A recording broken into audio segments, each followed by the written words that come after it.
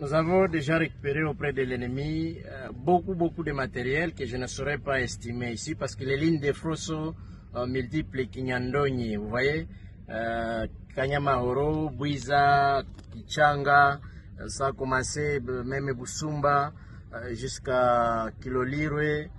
Donc le bilan matériel est largement positif. Nous avons récupéré beaucoup de matériel. Le- le- L'ennemi que nous avons mis à terre. Vous avez vu beaucoup des images. Je ne saurais pas euh, mettre des chiffres. Il y a beaucoup, beaucoup de, de, de, de- RADF qui sont tombés à Kilolirwe, à Kinyandonyi, hein, à Bouiza.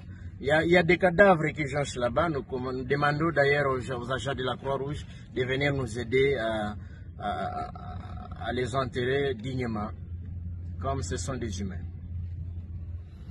Bon, nous avons